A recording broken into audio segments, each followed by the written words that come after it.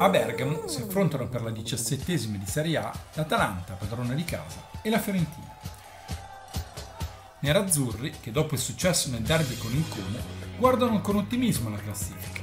5 punti di vantaggio sulla terzultima sono sicuramente un buon bottino a questo punto della stagione per Mondonico.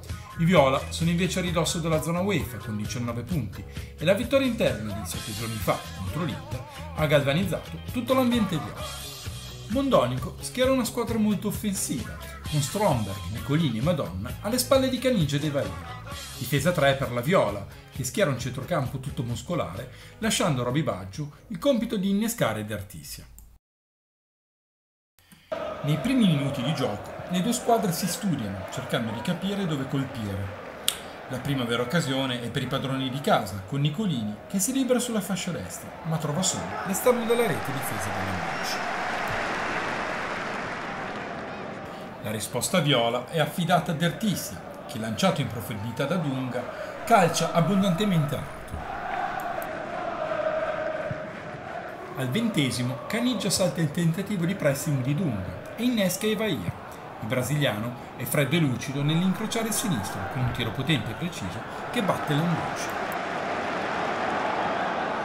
Poco prima della mezz'ora l'Atalanta avvicina il raddoppio con Bonaccini, ma Landucci in uscita chiude lo specchio della porta. Finalmente si sveglia anche la Fiorentina e lo fa con Roby Baggio, sulla cui conclusione Ferron è strepitoso nel deviare in calcio d'angolo, negando così il pareggio alla Viola. A seguito della battuta del corner, la palla arriva a Kubik, che tira. Ferron si oppone in qualche modo, prima che arrivi Progni a spazzare via la sfera. Atalanta pericolosissima in contropiede al quarantesimo, con Nicolini che impegna Landucci con un bel rasoterra dei 18 metri. Al 45esimo Madonna scappa via faccenda e si presenta tu per tu con Landucci, che viene beffato dal tocco del giocatore nero-azzurro, che fa così 2-0. La Fiorentina accusa il colpo e fatica ad inizio ripresa ad organizzare una reazione degna di tale nome. Al 52esimo Landucci si salva, anche con parecchia fortuna, su Nicolini. Al 66esimo è Evair a tentare di chiudere anzitempo la gara dalla distanza. Landucci tiene la Fiorentina ancora viva. Gli orobici rallentano il ritmo e gli ospiti cercano almeno di accorciare le distanze.